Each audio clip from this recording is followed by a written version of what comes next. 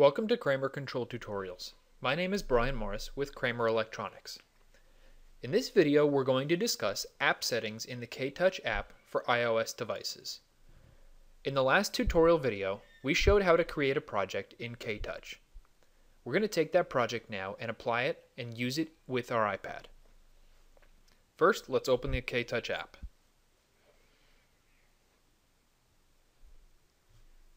Once we're in the app, we're going to go to the Settings tab at the bottom, enter our username and our password, and select the Sync button.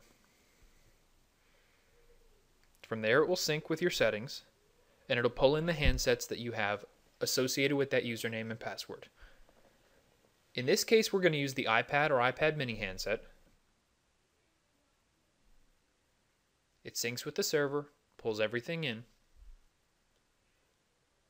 and then it prompts you to say that you have unassigned devices. We're going to assign these devices now, so select yes. You have unassigned devices for Virtual Device 11 and Virtual Device 12. First, we'll assign Virtual Device 11.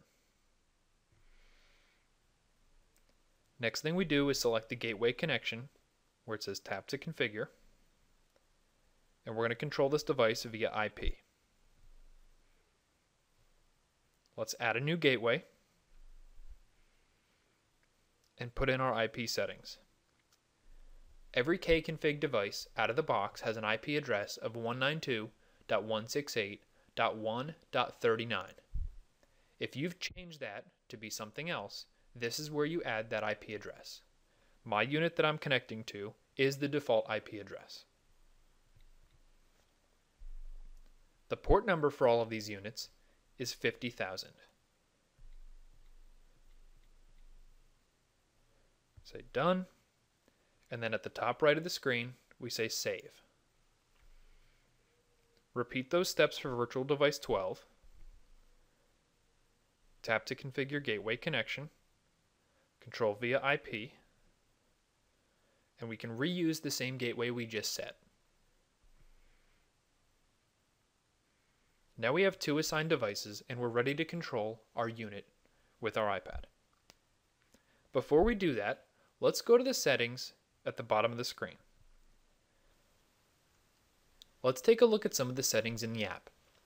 Down below the sync button, you can see the settings. Make sound on tap will enable an audible click for every time you press a button on your control panel. Vibrate on tap will make it so your device vibrates if you're using an iPhone when you press a button on your control panel.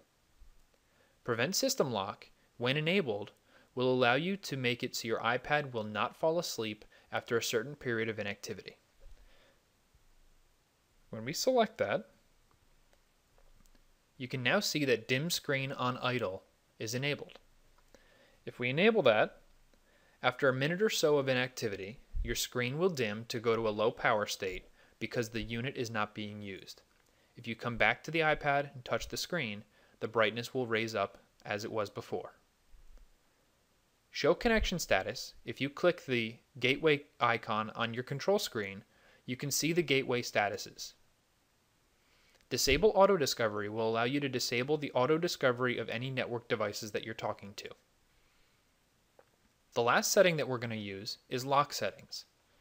If we enable it, we can create a PIN code to make it so anytime a user wants to get into the settings, they must enter a PIN code in order to do so.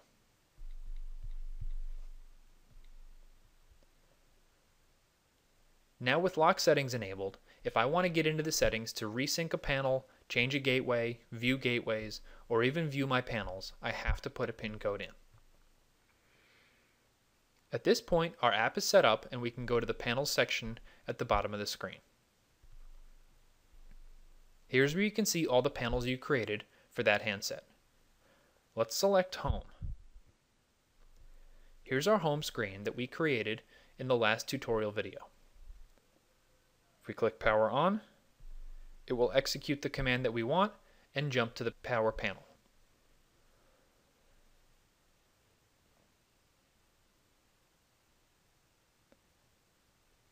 Now you can see your input sources, your volume up, volume down, power off, and drawer at the bottom of the screen.